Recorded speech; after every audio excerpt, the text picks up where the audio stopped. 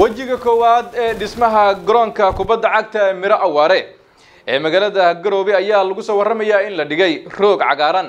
Waryahayga siciid xasan faarax ayaa warkan inoo soo diray garoonka kubadda cagta miro awaare ee magaalada garowe ayaa guddiga gacanta ku haya dhismaha la magacaabay shan iyo tobankii bishii saddexaad ee sannadkii labadii kun iyo siddeed iyo tobankii. Shacabka reer puntland iyagoo isku duuban gudo iyo dabadba waxaa loo kacay dhismaha garoonka taasi oo looga gol lahaa in magaalada garowe ee xarunta caasimadda puntland ay yeelato garoon roog ah oo la jaan qaada gobollada kale ee dalka muddo dheer oo dhaqaalihii lagu dhisi lahaa garoonka kubadda cagta ee miro awaare lagu guda jiray. Ururintiisa waxaa garoonka si rasmi a dhismihiisa loo bilaabay horraantii bishii tobnaad ee sannadkii labadii kun iyo sagaal iyo tobankii muddo yar uun ka hor xanuunka safmarka ah ee coronavirus balse dhismaha garoonka oo si xawliya ku socday waxaa caqabad weyn oo guud ahaanba joojisay shaqadii garoonka ka socotay ku noqday xanuunka caalamka oo dhan isaga gudbay ee covid nneteen kaasi oo muddo ka badan lix bilood ay shaqada garoonku hakad gashay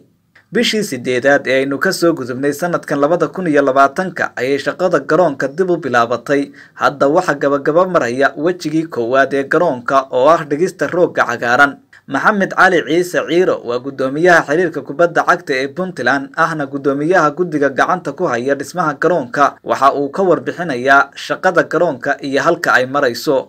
Alxamdulilah walaalayaal garoonku fayskiisii koowaad insha allah wuxuu marayaa waa ujeedaan sadbayskii waa dhammaaday garoonkii roogii baa la dhigay. Welina waxaa ku socota geegeejintii iyo weli rabar ku shubistii ma gaarin weli koolayntii ma gaarin. Insha allahu wiigaga soo socda insha allah waxaan rajaynaynaa in fayska koowaadi insha allah soo gabagaboobaan haddii ilaahay idmo dhaqaalaha loo hayo miyaa ku eeg fayska koowaad keliya? Mise fayska labaad iyo qaybaha dhimanna waa lagu sii dari doonaa dhaqaalihisa waa haysa maye dhaqaalihii fayska labaad ma hayno kan koowaad haddaan dhammaystirno alxamdulilah laakiin fayska labaad rajooyin badan baan qabnaayo. Insha allah oo madaxweynuhu ugu horeeyo waxaan rajaynaynaa ka seexan mayna waxaan rabnaa inaan israacin doonno idanka rabbi. Rajadaasaan qabno. Waayahay ma ka cabsi qabtaan markaasi in garoonka uu fayska labaad isku kiintaago oo uu dhaqaale aad markaasi ku bixisaan maadaama uu fayska labaad uu kala lacag badan yahay ee fayska koowaad aad iyo aad laakiin sideedaba waxa standardkahi waxa weeye waa meesha shaqada ku bilaabanayso waa fieldiga oo fifa ay u taqaano meesha laga rabo in maaragtay shaqadu ka bilaabato waa waa waa waa garoonka inta lagu ciyaaro. Dhanka kale maxamed ciiro ayaa sheegay in wejiga koowaad ee garoonka ay soo dhammaan doonto shan iyo tobanka bisha tobnaad ee inagu soo fool leh. Si toosana markaasi loogu bilaabi doono cayaarta kubadda cagta ee garoonka insha allah waxaan rajaynaynaa tobnaad dhexbartankeeda insha allahu inaan waxaan rajaynaynaa in fayskiisa koowaad tobankeeda ugu dambeyn shan iyo tobankeeda haddii ilaahay idmo in insha allahu aan aan fayska koowaad insha allah ka farxalano haddii ilaahay idmo. Kolley fayskiisa koowaad hadduu dhammaado waxaa sida qorshaysan in ciyaaro ka bilowdaan waa waa lagu khasban yahay wasaaradda dhallinyarada iyo ciyaaraha puntland ayaa dhowaan sheegtay in loo diyaar garoobo tartanka kubadda cagta ee gobollada puntland taasi oo la filayo in uu noqdo garoonka miro awaare kan lagu qaban doono tartankaasi.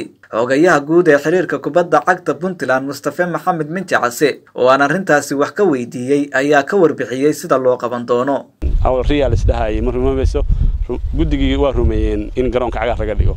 Laakiin quruxdii garoonka maadaama caasimadu ku yaal caasimaduna ay tahay meesha keliya dowlad laga fiirsho inay wax walba u qurux badan tahay.